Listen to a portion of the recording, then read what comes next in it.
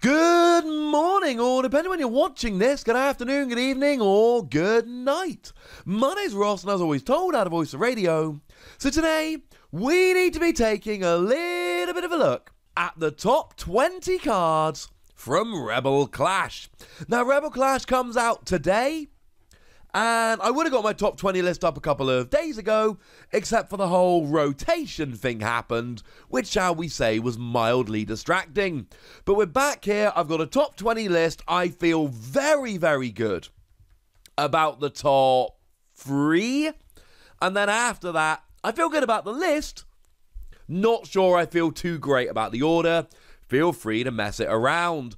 Honourable mention before we get going here to Falinks. I love Falinks. Falinks makes me happy.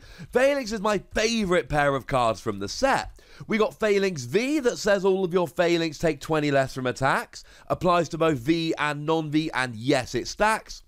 And then you got Falinks that for just a twin energy. Yeah, that's coming back in a minute. Does 30 damage for each of your bench Falinks. Yes, that includes V.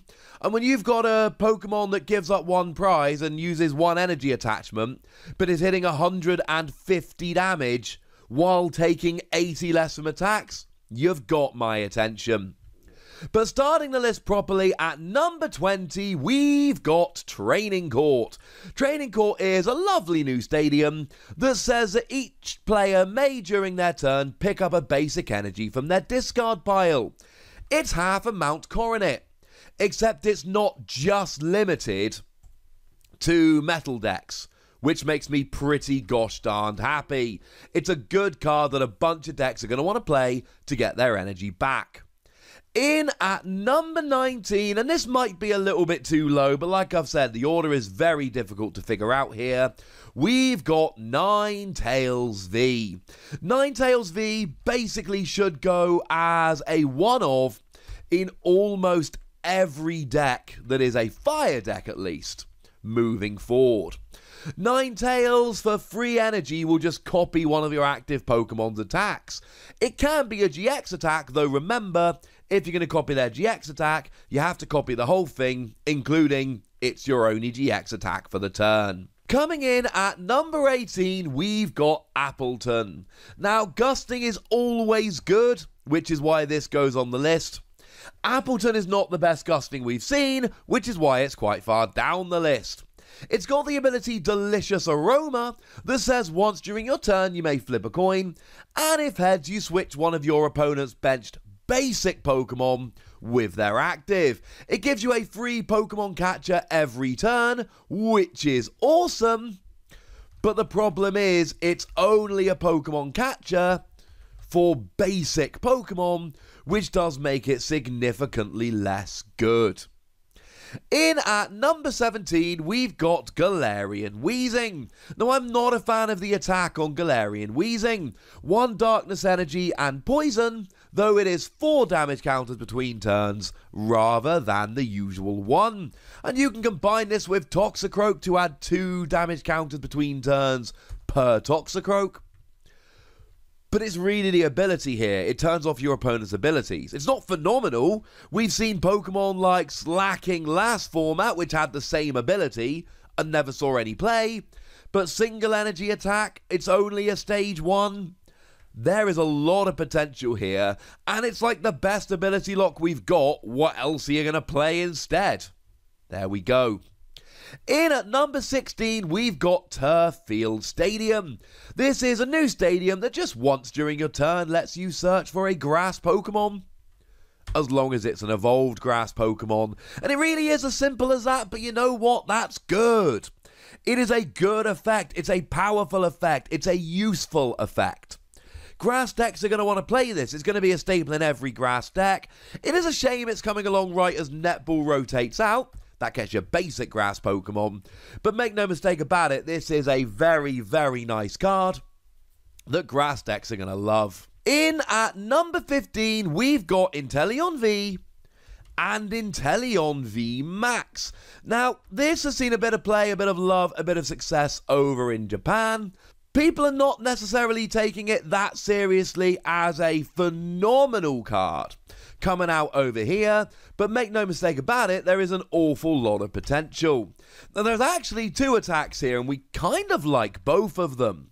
For a single energy, you get to do 60 damage and put an energy attached to your opponent's active Pokemon into their hand. Do feel free to combine that with things like Team Yell Grunt and Crushing Hammer to make it even more fun. But then if you want to go and add a second energy, and I think that might be a rather nice idea, and a third energy, then you do 160 to the active and 60 to one of your opponent's bench. Do please remember that we do have Frosmoth to accelerate the energy, so it's not that difficult to pay it, and you've got the makings of a very good deck here. In at number 14, we've got Burning Scarf. It's a lovely new tool that, if attached to a fire Pokemon and that fire Pokemon is damaged from an attack, you burn the attacking Pokemon, which means they immediately take 2 damage after their turn, and then flip a coin, and if tails, they then take 2 damage after your turn, and so on and so forth. Slightly upsetting that this is coming out as well a Volcano Park is rotating. It stops people flipping heads to get out of burn, but I think this is going to be one that fire decks are really loving. In at number 13, we've got Boltund V. Now, Boltund V, it's got quite a nice first attack. One lightning energy, search for two lightning energy, and attach them to your Pokemon in any way you like. But far better here is the attack for two energy, that does 10 damage base, plus 30 more for each lightning energy attached to all of your Pokemon. You can play it as its own deck and just try and get as much energy out as you like, or you can play it in a Pikachu and Zekrom deck. And then, as soon as there's enough energy on the field, you get to do huge damage, and life is good. Boltund's got legs, literally and metaphorically. In at number 12, I'm popping together Sonia and Milo. As I like to call them, they are the good new draw supporters. Sorry, Dan. Sonia comes along and lets you search for two basic Pokemon or two basic energy. And on the one hand, this kind of offends me because it's just an objectively worse Roseanne's research. Like, Roseanne's research gets you two in any combination of basic Pokemon and basic energy, whereas Sonia just gets you two of either. It's annoying. It's not fair. It's just a worse card. But you know what? We don't have Roseanne's research at the moment. Roseanne's research is gone, which leaves this as our best option, so I'll take it. As for Milo, you discard two cards from your hand and draw two for each card discarded in this way. Index where you really want to discard stuff, whether it's energy in a Malamar style deck or Pokemon in a Zoroark style deck, or whatever it might be, this has got your back while drawing a whole bunch of cards. Sounds pretty good to me. In at number 11, we've got Dubwool V. Now, Dubwool V, it's a tech Pokemon. It, it's nothing more than that. It is a tech. It is a card that fits into decks, but you know what? It's colorless energy. It fits into like any deck. It's got a nice ability that lets it take 30 less damage from attacks. Yay! But for free energy, it's all colorless, so you can pop it in whatever deck you like. 120 base, plus 30 more for each prize card your opponent's taken. And the dream here is oh, you're down to one prize remaining, opponent. Reset stamp to 1, hit for 270 until you win the game. Dubwool will be the author of some lovely comebacks. And I do think there is now a little bit of a gap between the 10 we've just seen and the 10 we're about to see. So coming in at number 10, we've got Rillaboom V Max. Now, Rillaboom VMAX is what we've been looking for quite a bit. It is the partner for Rillaboom decks. Rillaboom lets you accelerate two grass energy from your deck to your Pokemon, and Rillaboom VMAX is here to just do a whole bunch of damage. For 4 energy, it does a natural 130, which isn't great, but you may discard up to 3 grass energy from it, doing an extra 50 for each one discarded, and now you're doing 280, which is KOing all those pesky tag teams, and now it is absolutely great. It has seen a lot of playing success in Japan already.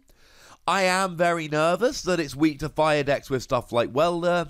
It's going to remain to be seen how good it could end up being, but it could be really good.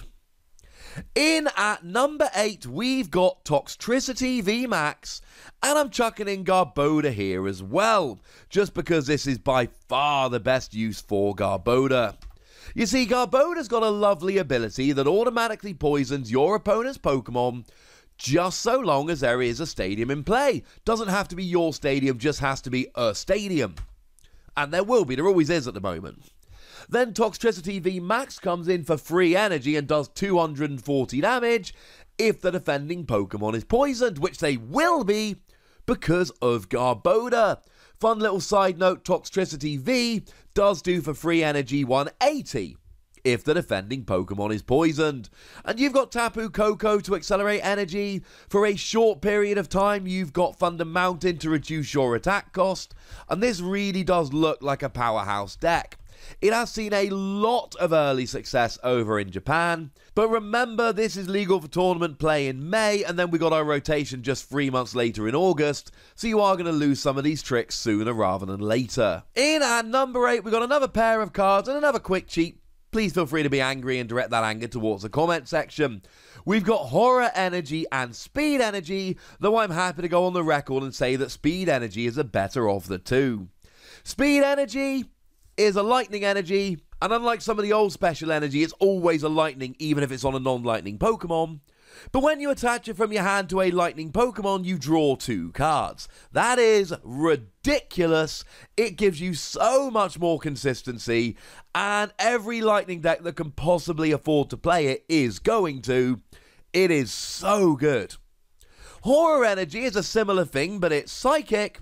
And instead of drawing two cards, your opponent takes two damage counters if they attack a Pokemon with Horror Energy attached. Yes, it does stack, so 2 horror energy would be 4 damage counters taken.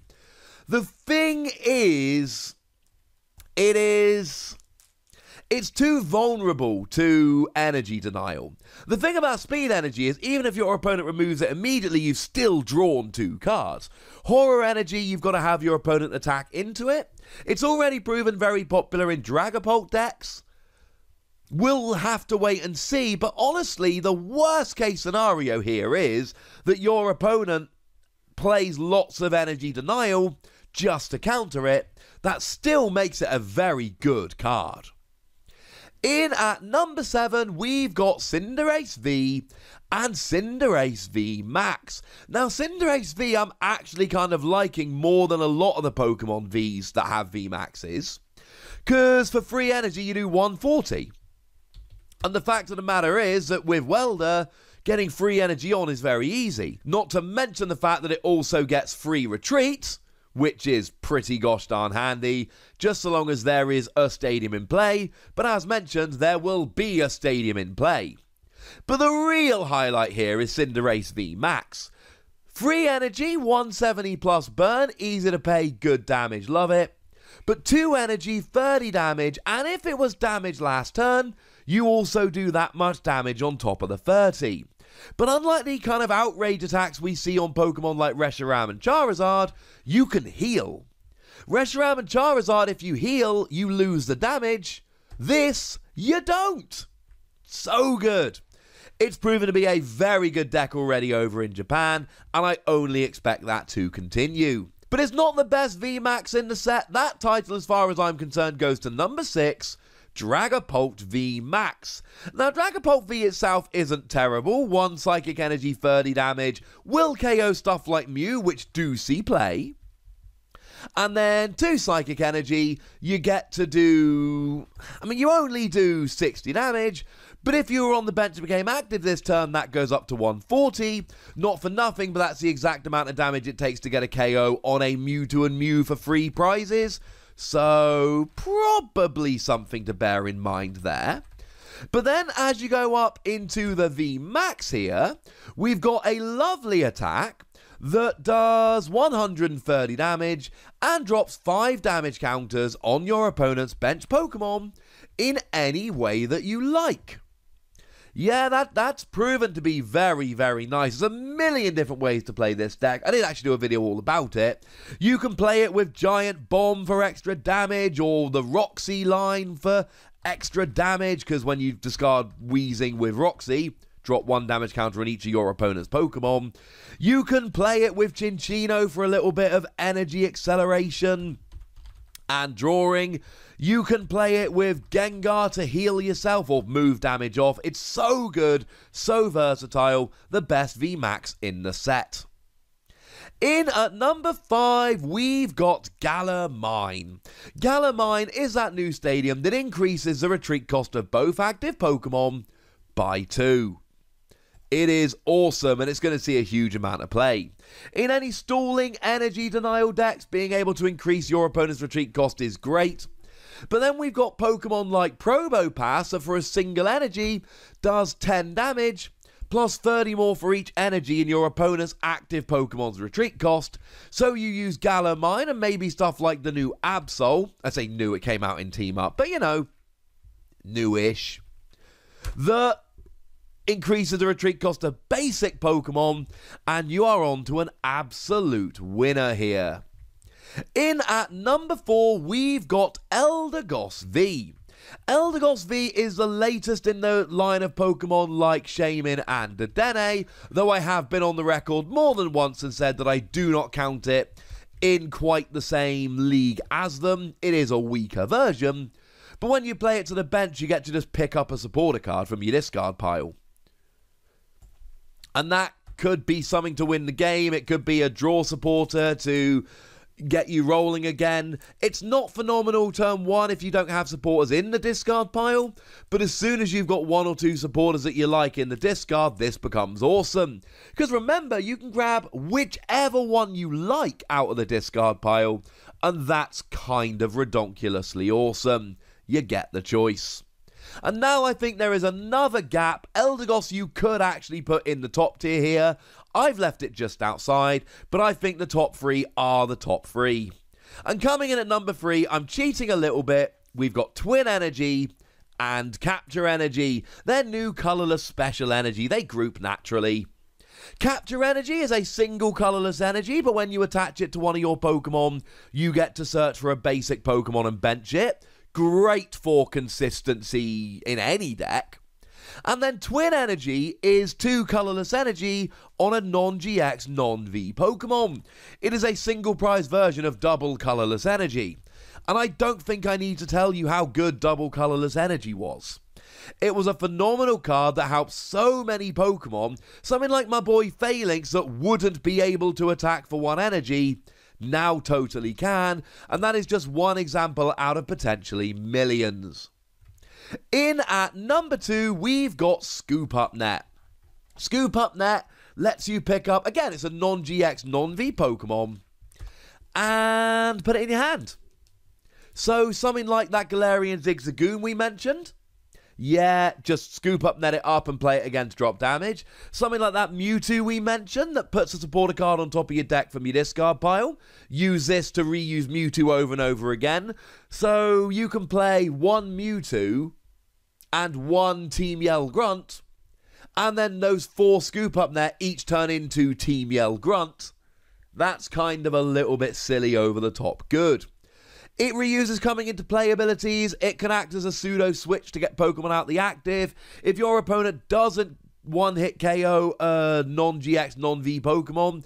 You can then use this to heal them up. There is so much to love about this card, and I expect it to be at the center of numerous ridiculous combos for the entire time it's legal, frankly. But coming in at number one, and I'm afraid it's not even close, it's Boss's Orders.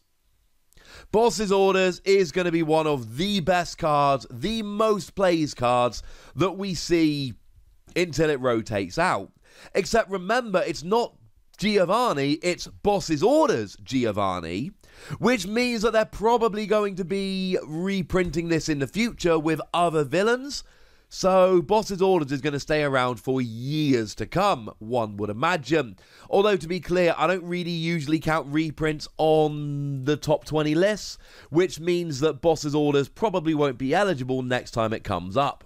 unless it's been a little while. Tool Scrapper is certainly going to be one of the most impactful cards in the set, but Tool Scrapper is just a reprint of an old card, so I'm not counting it on the list. Feel free to be angry. Now, Boss's Orders, to be fair, is just an alternate named version of Lysandre, and it is over the top ridiculously good. It gusts a Pokemon from the bench into the active. It is going to see a huge amount of play and a huge amount of love. Get ready for the gusting, ladies and gentlemen. Boss's Orders is here. So there we go. Those are the top 20 cards from Rebel Clash. Feel free to be angry about some of the groupings and some of the decisions I've made, the order, etc. The place to argue about this is in the comment section, so go nuts, but be nice. And then make sure you like this video, subscribe to this channel, follow me on Twitter at the Wossy, and Twitch for some live action at twitch.tv slash PTCG Radio. If you want to support the channel, get some bonus podcasts and all that good stuff, head on over to patreon.com slash PTCG Radio, where you can do exactly that. And please do make sure you're checking out youtube.com slash Plays, where you can find out about a whole bunch of games that don't have Pokemon in, but are pretty gosh darned awesome nonetheless. But by far the most important thing is always, look after yourselves till next time, would ya? Thank you very much for watching. My name's Ross, and you've been watching PTCG Radio.